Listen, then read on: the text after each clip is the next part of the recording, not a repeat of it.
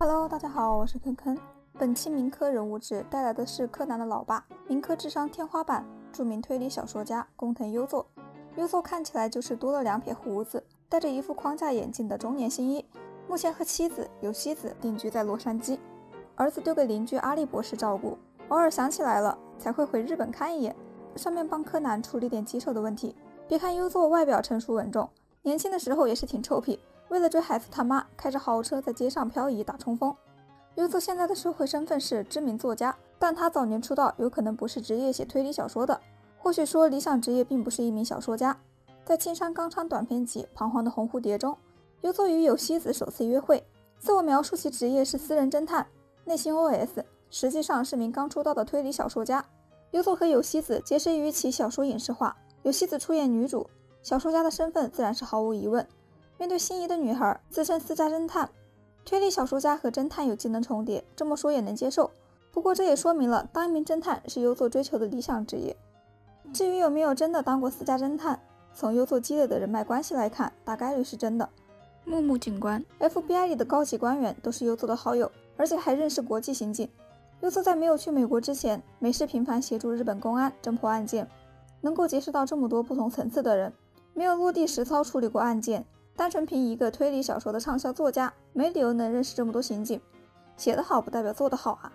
优作除了职业之外，在与柯南他妈相识之前的人生，目前毫无信息。我推测啊，优作以作家身份出道，在与有希子闪婚之后，私下也确实当过侦探，接受过案件委托。之后不知道出于什么原因，放弃了理想职业，专心写小说。不过依旧和警方保持友好往来，帮他们侦破案件。这里不得不说，优作出手绝不失手。除了一个案子。事情是这样的，一个大叔倒下了，手边还用血字写了个死。大家伙一看，纷纷感叹：这不是简单的案件呐！而优作却认定为意外案件。案件的真相，优作能不知道吗？只是为了保护小朋友，才没有详细解释。一个寺庙里的小朋友发现尸体的时候，按照日本庙里的习俗摆出了个阵超度，结果血液随着甜甜圈的外延，很巧合的形成了死字。优作怕万一有键盘侠攻击小朋友，所以不得已不做出解释，只说是意外案件。啊，什么有钱有颜又善良的好大叔啊！嗯，掰回来，至于优作为什么没有朝着自己的理想职业发展，是单纯的小说写的太火了，不想对不起广大书迷，还是成家立业以后想过安稳日子，职业规划也因此发生了变化？又或者是不是因为得知了什么大消息，为了全家的安全起见，选择离开日本这个是非之地？在飞上夜空的时刻行星中，青山解释优作想离开日本是为了脱稿。想当年，为了催优作写稿。各大媒体蹲守在他家门口，优作不堪其扰，不惜玩失踪。可怜一岁不到还不会说话的心意，含着奶嘴查找老爸的下落。优作也不只是日本知名作家，人家的作品是畅销海外，哪哪都火。只要是金子，哪里都会发光。只要有优作，哪里就会有催稿，美国也不例外。脱稿这个理由，我觉得多少有些牵强。工藤优作这个人，身份信息很简单，能量却很大，拥有不小的社会影响力。优作真的就这么简单吗？三点来看，并不。第一，从柯南的教育上来看，优作作为家长，对小孩子的想法可谓是相当尊重。那时候上幼儿园的新一觉得老师不对劲，优作就暗中去调查跟踪，完全不是大人说话，小孩子懂什么的教育模式，令人相当羡慕。要是我有这样的父母，嗯，我也没有柯南这样的脑子。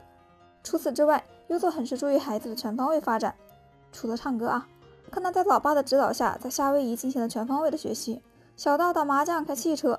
大到开轮船、开飞机等高难度的交通工具，还不忘提高柯南的武力值，手把手教柯南学会打枪。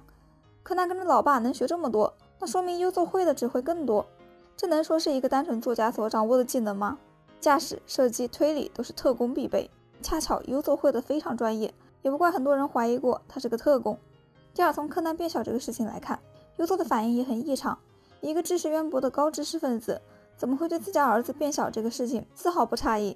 正常爸爸应该是白天带着儿子奔波于各大医院，晚上熬红了眼睛，在家查找医学资料，寻找一丝孩子恢复正常的可能。结果人优作啥事没有一样，变小就变小吧，于是该吃吃，该喝喝，该回美国回美国。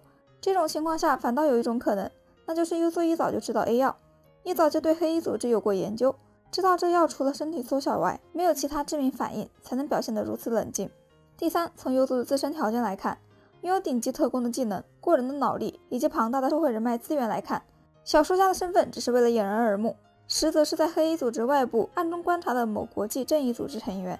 有人会说啊，想的太复杂了。柯南这么不简单的小学生，哎，青山给他的高级设定不都得推给他吧？总不能和孙悟空一样，啥都从石头缝里蹦出来的吧？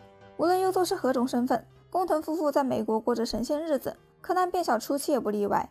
直到绯色篇中，受儿子之托回到日本，易容成冲石卯和安室透对峙，帮秀一隐藏冲石卯的身份，由此正式卷入漩涡中心。优作在与秀一相识之后，自然而然地与这位酒厂老员工交谈了起来。秀一这就不得不提起影响整个赤井家族命运的羽田浩司案了。于是优作终于和柯南同步了。十七年前，羽田浩司临死前在镜子上留下了重要线索：put a mascara。在此之前，柯南和秀一解读为 a s k a r o m 凶手即为浅香，也就是朗姆。聪明的老爸发现事情不简单，在信息重新排列后得出卡拉萨玛，由此推理出黑衣组织的 BOSS 即为乌丸连叶。早知道优作就快点和秀一聊呀，害柯南白辛苦了一千零十集。面对日本不仅财力强于铃木集团，并且相当神秘的反派人物乌丸连叶，当年老爸终于对柯南表现出了少有的关心啊，不兴奋。对于高手而言，没有什么比强大的对手更令人兴奋的。于是优作决定在事情解决之前不回美国。闹心儿子在休学片中恢复成工藤新一，现身京都协助破案，失踪人口回归引起了好一阵骚动。还有人在网上拍了 vlog，说自己看到了新一。老爸决定出手，儿子又不省心了。组织死亡名单上的人居然还能活着出现这件事，酒厂自然要调查调查。二五仔安石透收到上级指令，潜入新一家，在那里他碰到了早已等候的赤井秀一以及工藤夫妇，然后召开了著名的红茶会议。不出意外的话，在会上，优作肯定是以中间人的身份将秀一与安石头当年的误会化解，然后开始摊牌，将现在所有人的关系梳理一遍，三方信息同步，强强联合。以上是猜测，具体在红茶会上三方商讨了什么还不得而知，大概率不外乎这些。红茶会后，大家继续当没事人一样，该装死的继续装死，该当二五仔的继续当二五仔。不过工藤夫妇的回国被嗅觉敏锐的酒厂察觉到了异常，生怕神人优作之后会给组织带来麻烦。于是，朗姆派贝姐去调查这对夫妻为什么突然回日本了。贝姐在一通自认为很聪明的套娃行动之后，认定大名鼎鼎的工藤优作不过如此。姐姐想杀他就是随时，没啥可值得注意的。民科智商天花板也不是开玩笑的。优作早就察觉到了贝姐的行动，于是将计就计，装傻充愣，让酒厂暂时放松了对他的警惕，没有起杀心。不过优作推断，酒厂将还会有更大的动作。越看优作越不简单，帅大叔到底是个什么身份？就只是单纯的脑子好使，过来帮个忙，我觉得肯定不简单。金吉真还是武力值天花板呢，咋不见他也搅和进来？优作可是从之前的不参与，到现在的主动站在漩涡中心，感觉局势是越来越紧张了呢。你们觉得工藤优作是什么身份呢？接下来的故事会是什么走向？工藤家族又将会迎来怎么样的挑战呢？欢迎在下方评论区留言讨论哦。本期视频就到这里了，拜拜。